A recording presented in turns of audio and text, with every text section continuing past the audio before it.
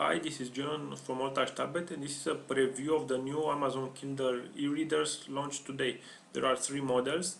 Uh, the new Kindle that will replace the previous Kindle, also um, um, now renamed to Kindle Keyboard, the Kindle, the Kindle Touch and the Kindle Touch 3G. Let's browse to them and see what they bring new to the table. First is the Amazon Kindle. This will replace the older one uh, that was renamed, as I said before, to Kindle Keyboard because the new one doesn't have any kind of keyboard. Uh, but it still uses the same 6-inch uh, ink, ink, screen uh, that um, made um, the new Kindle famous. It offers uh, over one month of battery life.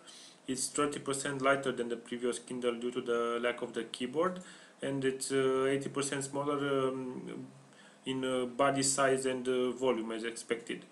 Um, all the new Kindles come with free cloud backup, which means you can download and buy uh, um, books uh, from Amazon store.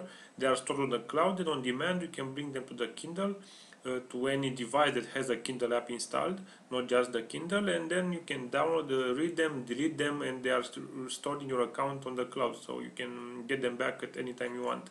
Um, the new Kindle comes with one month battery life, which is pretty impressive and what's most important it costs only $79 um, with the new with the ad service that are displaying some ads uh, on the screensaver on while you're reading.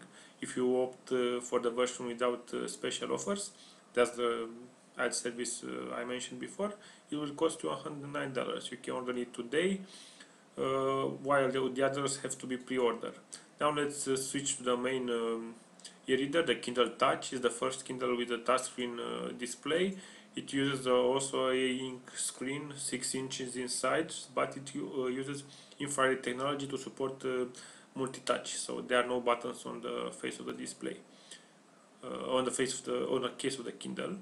It's 80% uh, lighter than the previous Kindle, 11% smaller body mass, and comes with free backup uh, cloud backup as before. Plus it has the new x-ray and read to me functionality. Read to me actually um, it's a text to speech converter so you can uh, listen to books while uh, you're driving for example when it's not safe to to read.